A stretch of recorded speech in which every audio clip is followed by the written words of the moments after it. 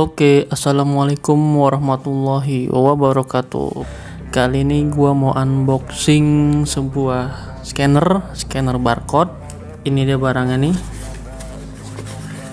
Eh, nah ini dia. Ini scanner barcode dari Zebra. Nah ini gue masih bingung nih mereka tuh banyak banget ada jadi eh, simbol zebra Motorola itu tiga merek yang berbeda setahu gua. Entah mereka bikin bareng-bareng atau apa gua nggak ngerti belum gua cari tahu. Kalau kalian ada yang tahu tolong tulis komentar ya biar eh, teman-teman yang lain juga pada tahu. Di sini untuk tipenya tuh Zebra DS 2208 input output unit scanner uh, oke okay, part numbernya bla bla bla dasar nomornya dan um, ini yang jarang banget gue temuin dia made in Mexico biasanya made in China. Jadi ini tuh scanner barcode untuk satu dimensi dan dua dimensi. Jadi uh, kalau kalian yang belum tahu satu dimensi itu yang barcode biasa yang garis-garis batang-batang itu. Uh, ini bukan contohnya. Nih ini barcode. Nah yang ini QR code. Oke. Okay. kita buka dulu si barangnya ini. Kita unboxing ah, ini juga unboxingnya nggak dari paketan soalnya udah dibuka jadi gua dari kardusnya aja. Jadi di dalam uh, box satu ada kabel. Kabel universal styles 3 USB 6 feet 6 kaki. Panjangnya sih kayak satu meteran ya. Nah ini baru nih origin Cina jadi dia tuh RJ45 itu USB kita singkirin dulu. Lalu ada digital quick start guide. Nah, bentuknya ini DS208 kita singkirin juga. Lalu yang terakhir tuh ada scannernya. Ini ada scan. Jadi ini scanner uh, kabel ya bukan yang scanner wireless nah ini dia. Scanner barcode. Nah ini merek Zebra DS22 08 dilangin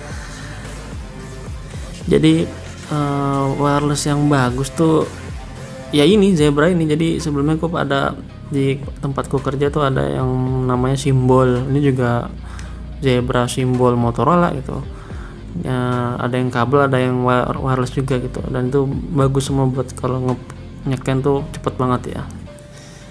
Oke kita langsung coba aja kali ya. Kita buka dulu.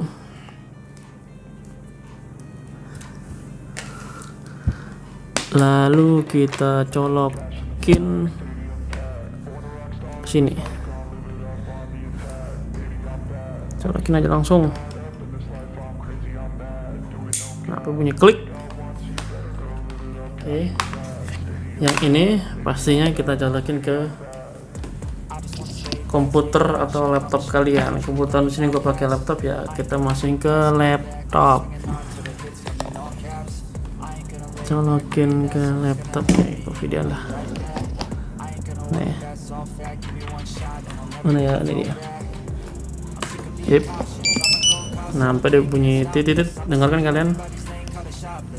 Harusnya sih denger ya. Soalnya gue lagi pakai mic boya.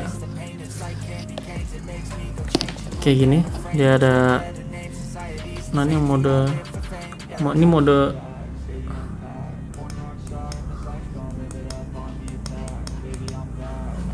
tetes ya.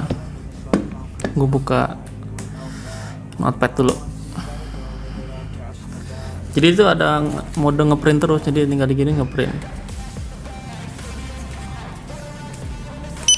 nah masuk deh ini punya yang barcode nih. Sama kan hasilnya.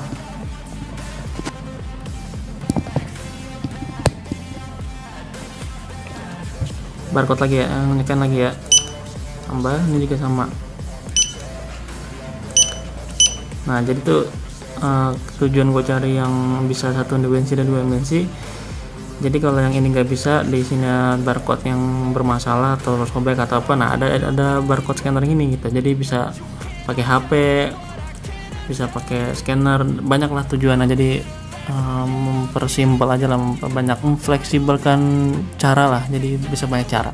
Udah itu aja mungkin uh, yang bisa gue tunjukin ke kalian soal unboxing dan cara pakai si scanner ini. Sangat bagus banget sih menurut gue nih untuk harganya untuk harga nih gue beli di harga satu juta tiga di Tokopedia penjualnya juga udah official store. Nama penjualnya barcode official. Nanti kalau kalian mau beli linknya gue taruh di deskripsi.